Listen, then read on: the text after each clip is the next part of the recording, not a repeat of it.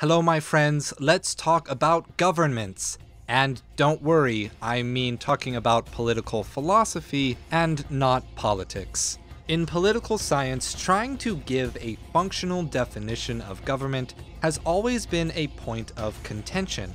As governmental structures have had multiple large scale changes throughout human culture around the world, trying to place that definition under any particular kind of government has become largely dysfunctional. Trying to use religion or property ownership has become dysfunctional. Even using a particular regime is dysfunctional when taken in the context of Europe, where complete regime changes take place yet retain the identity of the country that existed before, and the United States, where term limits almost make it such that no regime persists for any significant length of time and the office of the president isn't a very good measure of that regime, and thus not a good measure of the change in the context of the governmental structure. So the challenge is that we need a definition that accounts for all governments throughout time that can be maintained with reverence to the virulent processes of change.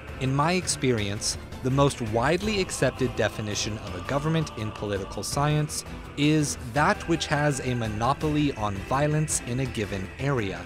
And this is problematic in a number of ways. First, it cannot account for small tribal governments of early man. Picture a small tribe of 50 people, and every adult in that group has equal decision making power to what the tribe does. They hold votes and act exercising the power of all 50 people. Let's also define power in this case as one's ability to act less the restriction by other actors. And in this case, there are no other tribes to be restrictive near our example tribe, and thus they have complete control over the power. However, there are no others around to exercise violence on. So, how can such a tribe be considered a government when there is no violence to wield over other actors? With no violence to monopolize, there is no government. In spite of a small political contingent of people acting democratically and identifying their group independently. On a small scale, the definition demands the violent subjugation of an outgroup. This definition also creates a problem for a more modern conception of a nation or world government when taken in conjunction with revolution or terrorism. Under the monopoly on violence definition, a revolting group or a terrorist group rejects the idea that the government owns all the violence in their area and begins to act violently. If we maintain that a violence monopoly is the definition, then there are two problematic conclusions. First, since no group has a violence monopoly in a time of conflict, then no government actually exists in a time of revolution or war. And if that's the case, what, if not a government, is actually waging war? Second, if we don't want to assert that the government stops existing in times of conflict, it means that the mob becomes a legitimate government in whatever space they happen to occupy. This essentially reduces all governments into a mobocracy. So obviously none of these results seem to accurately represent or be represented by this definition. What we need then is a broader, more common sense definition that can cover all the possible conceptions of government throughout history or in the future. Here's what I propose. A government is a collection of people for the purpose of mutual action. In other words, it is when people gather together and make a decision for how to proceed as a group. It is a pooling of resources to better reach some end. Even if not every person gets their own end chosen, they pursue it as a class.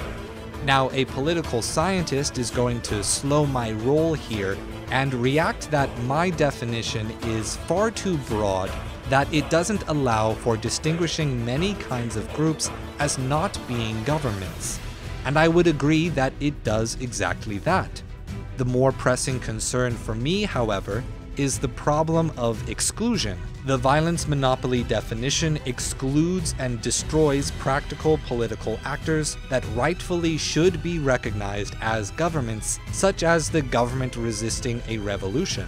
Violence monopoly definition requires creating many and multiple unique and distinct categories of actors and groups which hold nothing in common and yet have measurable political impact on supposedly actual governments. Thus, political models become overly complicated rather than more elegant and complex. It causes our political science to waste time measuring the rotation of the spheres rather than realizing how we rotate around a single, simple origin point. Rather than many unique entities, we have a single species of political actor.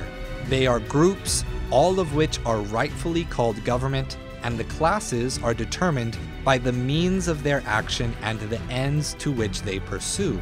Thus, a nation is a government, as much as the revolutionary group is, as much as a profit oriented company or an altruistic charity is, as much as a soccer club or a martial arts school is. It is an idea that is so simple and serene as to beg for rejection and complication by those who wish to be seen as though they know better and are thus more influential on political ends.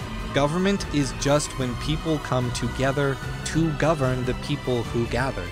It is a simple idea and leaves plenty of room to be built upon. So I'm confident that this definition can meet the needs of any politically scientific discussion. Thank you for watching, my friends. If you enjoyed this episode, make sure to subscribe to the channel and hit the notification bell. Also, share the video with your friends if you think they might be interested. We are still a small channel in the YouTube community, so the only way we can grow is with your help. I have a new video coming out every Saturday, usually about video games or anime and the philosophy that influenced them. So I hope you will join us next week. Thanks again for watching, and remember, stay true.